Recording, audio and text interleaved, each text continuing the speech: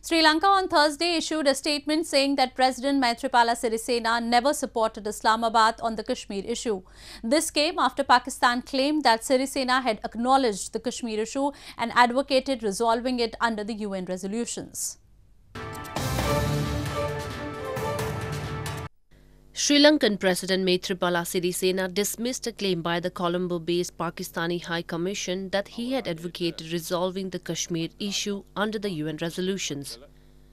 The President's office in a statement on Thursday said Sirisena did not comment on issues pertaining to India and Pakistan during his recent meeting with the Pakistani High Commissioner. The statement clarified that Sirisena gave a patient hearing to the Pakistani High Commissioner and did not make any comment on the issues pertaining to India and Pakistan.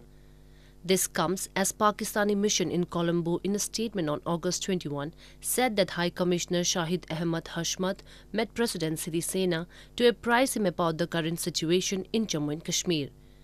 The statement said that President Sirisena acknowledged the Jammu and Kashmir issue and expressed his desire that it should be resolved under UN resolutions. The development comes in wake of India ending Jammu and Kashmir special status and bifurcating it into two union territories earlier this month. India has maintained that Jammu and Kashmir is its integral part and the issue is strictly internal to the country.